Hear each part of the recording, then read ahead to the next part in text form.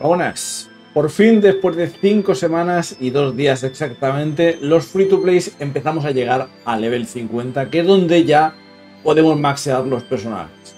Entonces, cualquiera que eh, no haya metido ningún refresh, con muchos potis, yo como veis eh, me queda una poti porque he gastado varias ahora subir al 50, pero eh, sin potis, más o menos estaréis por el 49 y tendréis pues unas 20 o 30 potis, creo que habrán sido en total, las que nos han ido dando pero rondaréis por esta por el 48, 49, 50, como mucho en una semana más subiréis lo que llevéis desde el día 1, ¿vale? En caso de que os falte más, es que os habéis dejado misiones por conseguir, contando que hay algunas secretas. misiones secretas, por ejemplo, yo me sé ahora mismo tres de memoria, estarían la de Clara, de las 500.000 monedas que tienes que, que bastante, la de los combates Pokémon y la de la profecía, que la de la profecía, por cierto, da mucha experiencia, es larga, es como una hora y media, la hice ayer, y luego te da otra misión más para que consigas otro final que te da otra vez eh, la experiencia. Así que es una misión que da mucha experiencia. Eh, en caso de que alguien tenga dudas de esa misión, pues quizás hago algún vídeo de la misión de la profecía. Pero bueno, vamos a lo que vamos ¿no? en este vídeo, que es los cambios que hay en el level 50 y qué es lo que tenéis que hacer para, al llegar al level 50 para eh, ir bien. Porque la verdad es que asusta cuando llegas al level 50 y de repente te quedas sin nada sin ningún recurso. Y no subes nada. Vale. Para empezar, empezamos por aquí. La Champion Arena. esto es simple. Esto, pues, de nivel 40 al 50, pasa eh, a darnos un material más, ¿vale? Que esto vale para subirlo del A, B, C, D, E, F. Da un material mes. Está bien. Vale, está bien, lo, esperado. Si vamos a los materiales eh, básicos eh, para subir los personajes y los discos, los amplificadores que diga. Eh, esto también está bastante bien, porque ya nos aseguran cada vez que la hagamos un morado. O sea, cada vez que hagamos uno de estos nos van a dar un morado y nos van a dar luego eh, uno o dos. Es como un 25 o 50% mejor que el de level anterior. El de level anterior, pues lo podemos ver aquí. Que eran... Eh, a veces no nos da ninguno de los morados. Entonces, es como te aseguran que mínimo sacas eh, lo que eran 5. 5 eh, azules asegurados. ¿Vale? Y puedes sacar más. Entonces, está bastante bien. No recomendaría a nadie prefarmear los personajes antes del 50. ¿Vale? Porque se sacan más materiales aquí. En términos de monedas, eh, las monedas no suben demasiado. Las monedas eh, a ser 22.500 a 25.000.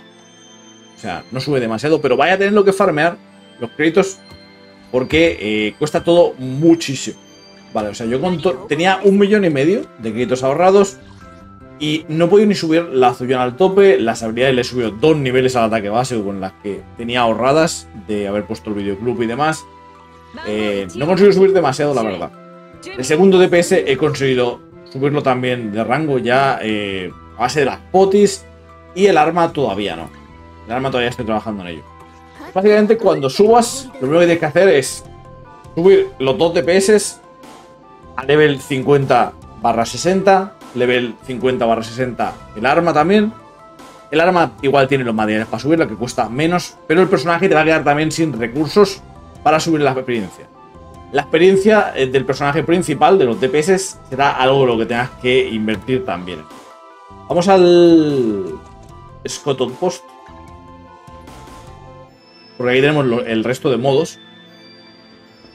Que esto, a pesar de muchos, no mejora lo de la caza del boss semanal. Sigue dando uno a la semana. O sea, no nos da. Eh, no nos da dos, como pensaba yo que nos iba a dar.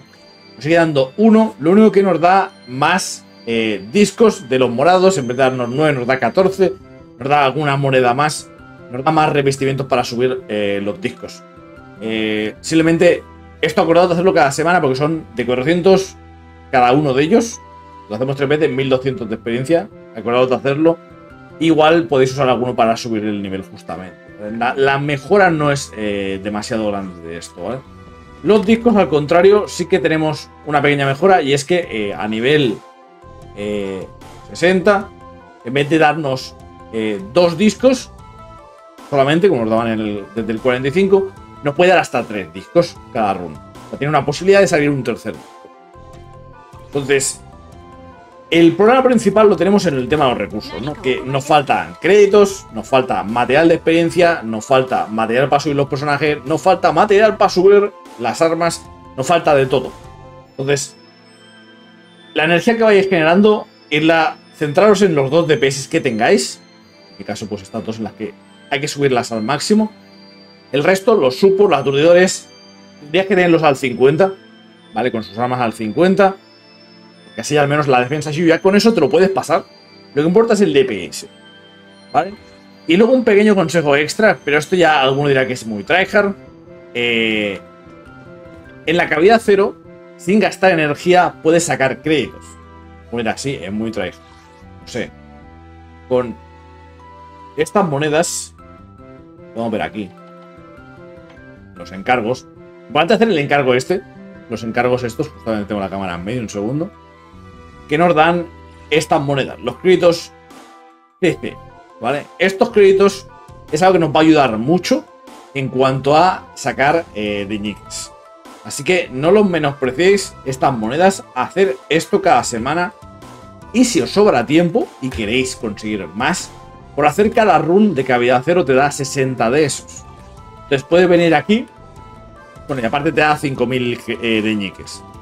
Puedes venir aquí y puedes canjear 60 créditos, o sea, 60 de los materiales estos por 15.000 monedas, sacarías unas 20.000 eh, de ñiques cada run. Sí, es muy tryhard, pero con la escasez de materiales que hay, eh, algunos sé que lo va a hacer. Yo, pues en vez de hacer los 5 que hago cada semana, intentaré hacer alguno más durante los streams para estar charlando y demás. ¿Qué hace falta? Hace falta estos materiales para no meterse a farmear eh, los de ñiques, que no renta para nada habiendo todo lo que hay que farmear. Y antes de que se me olvide, en el mismo vendedor, en la otra tienda, también tenemos aquí más deñiques, que aquí podemos comprar eh, 300.000 deñiques por eh, unas cuantas monedas 600, pero siempre hay que comprar primero el calibrador. una vez tienes el calibrador este, que es cada mes, que puedes resetearlo, se resetea y lo puedes comprar otra vez. Eh, los deñiques son importantes y todo el resto de materiales, realmente, incluso los de subir personajes, que lo hemos visto ahora, que nos hemos quedado sin poder subir los personajes. Y aquí no hay, como pasaba en el Honkai, que voy a farmear los mapas y consigas experiencia. Aquí no hay forma de conseguir experiencia en ningún sitio.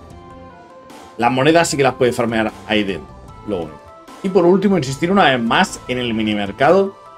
No vengáis aquí y cada semana compréis todo. Es muy caro. Es demasiado caro. A no ser que te pases 24-7 metido en la cavidad cero, consiguiendo esas 20.000 eh, de ñiques, y entonces te puedas vaciar esta tienda, no lo haría. ¿Vale? Esto es una barbaridad que te cuesta aquí eh, un montón de dinero, ¿vale? Que, que costaba 480.000 comprar todo esto, ¿vale?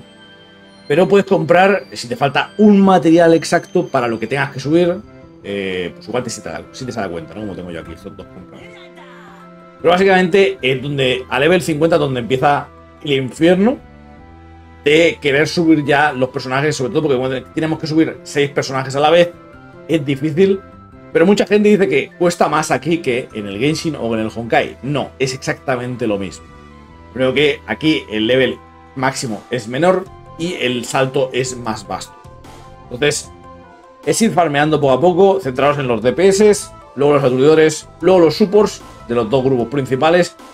Y una vez hecho eso, ya entonces ya empezaréis a armaros más personajes que queráis subir. Pues ya todo por este vídeo. Aquí en el centro de la pantalla tenéis otro vídeo que os puede interesar. Nos vemos en el próximo vídeo. Adiós.